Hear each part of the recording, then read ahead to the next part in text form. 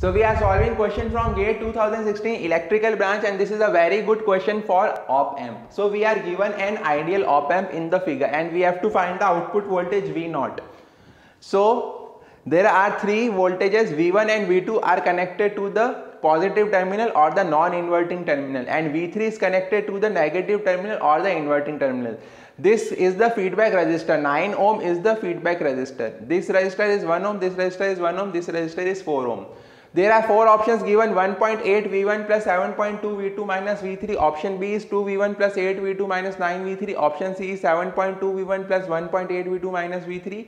And option D is 8 V1 plus 2 V2 minus 9 V3. So you can see the value of V1 is different in all the options and value of V2 is also different in all the options. So if I can found out if I can find output voltage due to either V1 or either V2 then I will get the correct answer. So I will tell you the uh, simplest method using that you can get the answer in hardly 30 seconds. So this will take you hardly 30 seconds because in gate exam we have to maintain speed as well.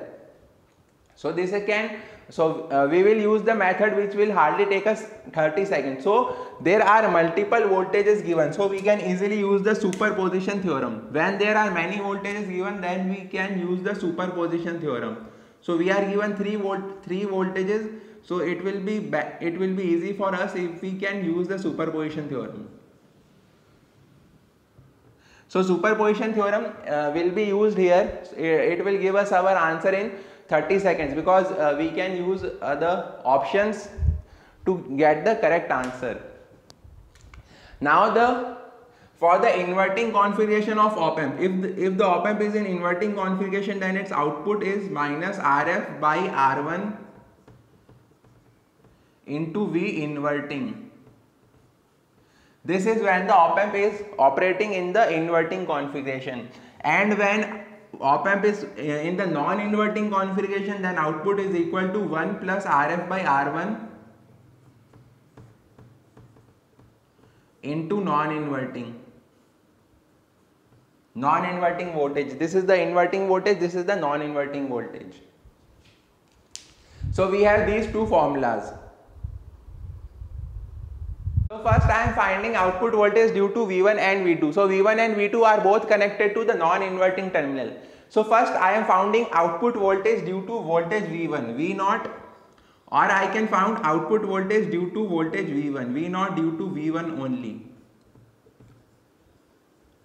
So when we are finding V1 due to uh, uh, v output voltage due to V1 only then we can ground this V2 and we can also ground this V3.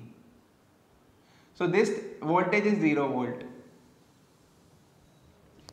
Okay. So now we have to find V1 the voltage here due to this voltage V1. So this terminal is connected to ground through through this 4 ohm. So by voltage divider rule the uh, voltage here let's say it is V plus. So V plus will be equal to V plus will be equal to V naught into 4 upon 4 plus 1. Sorry, V1 into 4 upon 4 plus 1. This V plus due to voltage V1 only. So by voltage divider rule, the this voltage V1 is getting divided into these two resistances 1 ohm and 4 ohm. So if if we have to find the non-inverting voltage due to V1 then the non-inverting due to voltage V1 is V1 into 4 upon 4 plus 1. So V plus non-inverting voltage will be equal to 4 upon 5 V1. So if this is 4 upon 5 V1 then this will also be 4 upon 5 V1. So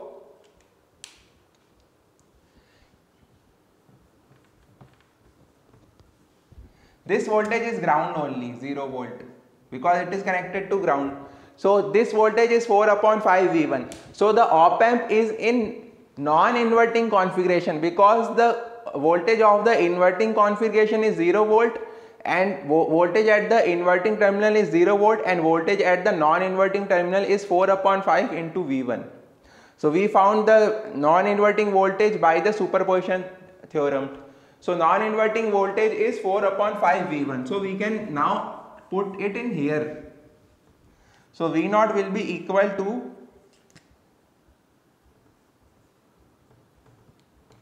1 plus RF. Now RF is 9 volt and R1 is 1 ohm. RF is 9 ohm and RF is 1 ohm. So 1 plus 9 upon 1 into 4 upon 5 V1. So V0 will be equal to 10 into 4 upon 5 V1. So 8 V1. So using this option, so using this we have already got our answer that V naught our correct answer is option D because only in option D 8 V1 is given. But we will find for other voltages as well. So I have found output voltage due to voltage V1 it was 8 V1. Now I will found output voltage due to voltage V2. V naught due to voltage V2.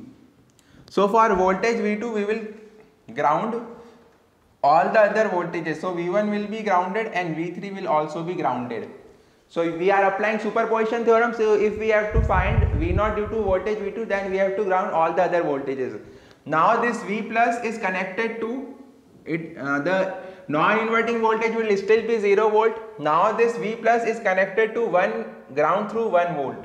So by voltage divider rule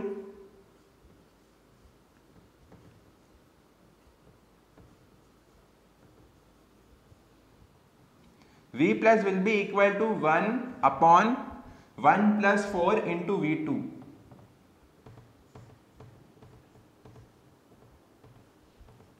So now V plus is equal to 1 upon 5 V2. So we can apply that here. V plus is the non-inverting voltage. So 1 plus RF by R1 is still 10 1 plus 9 upon 1 because RF is 9 ohm and this is R1 this is 1 ohm. R1 will always remain same. RF and R1 will always remain same. Whether it is non-inverting configuration or the inverting configuration the value of RF and R1 will not change. This is RF and this is R1 this will remain same. So into 1 upon 5 of V2 1 upon 5 of V2 so V naught will be equal to 1 plus 9 upon 1 is 10 into 1 upon 5 of V2. So V naught will be equal to twice of V2. So again option D is uh, 2V2. So we had already identified that option D is correct. So V naught is twice of V2. We have already got our answer as option D but we are just checking for all the voltages. Now we will find the output voltage due to the inverting configuration due to voltage V3. So now we have to find output voltage due to the voltage V3. So V3 is connected to the negative terminal or the inverting terminal. So the formula is V naught due to inverting configuration. V naught output voltage is minus RF by R1 into V3 and RF and R1 as, as I already told they will always remain same. So this is RF and this is R1, 1 ohm is R1. So minus 9 upon 1, so minus 9 V3. So for V3 we have to ground V1 into V2. V1 and V2 we have to ground. So V1 and V2 if we ground then this terminal will be 0 volt. So this terminal is 0 volt so it means that our op amp is connected the inverting configuration is connected to 0 volt and V3 and this voltage and uh, the non-inverting voltage is applied to the the inverting uh, in the voltage is applied at the inverting terminal and the non-inverting and the voltage at the non-inverting terminal is 0 volt this is the non-inverting terminal the positive terminal so output voltage will only be due to the voltage V3. So V3 will be equal to, so output voltage V0 will be equal to minus 9 into V3. So option D is correct. So uh, we have already identified that option D was correct. so if you are in exam hall then you can easily solve this question in 30 seconds just by finding the output voltage due to either V1 or V2 so it will be 8 V1 and 2 V2 and in the options V1 and V2 all are different value so but I have solved for all the voltages. So if we combine then we get 8 V1 plus 2 V2 minus 2 9 V3 as the output voltage. So this is how you use superposition theorem when multiple voltages are given. So superposition theorem makes our work very very easy when we are given multiple voltages and we have to find answer very quickly. So multiple options were given and we easily found one option was correct in 30 seconds. So, uh, so this was a very easy gate question but uh, it was of good concept. So solve gate questions like this it will really help you and I have solved many gate questions. So I will give the uh, playlist link in the description of this video. So please like and share the video uh, and, subs and subscribe the channel and also share the feedback on the videos. If you are looking for any improvement, any suggestions for our videos then please share in the uh, comment box. Please share your valuable feedback. Thank you and best of luck for exams.